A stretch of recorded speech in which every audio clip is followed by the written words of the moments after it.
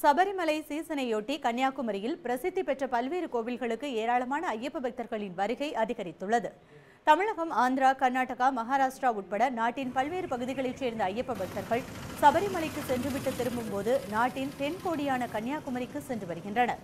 இங்கு வரும் ஐயப்ப பக்தர்கள் கன்னியாகுமரியில் உள்ள பிரசித்தி பெற்ற கோவில்களான மண்டைக்காடு பகவதி அம்மன் கோவில் சுசீந்திரம் தானுமாலை அம்மன் கோவில் பகவதி அம்மன் கோவில் மற்றும் நாகர்கோவிலில் உள்ள சிறப்புமிக்க நாகதோஷம் நீக்கும் நாகராஜா கோவில் உள்ளிட்ட கோவில்களுக்கும் வந்து தரிசனம் செய்துவிட்டு திரும்பிச் செல்கின்றனர்.